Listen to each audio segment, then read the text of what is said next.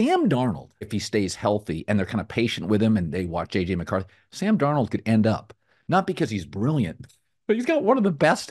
I mean, if I if we ranked left tackle, star receiver, two receiver, tight end, running back, Sam Darnold's going to do a Baker. You're going to look up and go, Minnesota's in the playoffs. Not because Baker's great, although Baker's always had talent, Sam's had talent, but I think Darnold has a chance to be the Baker story next year. It's just there's just too many good players here.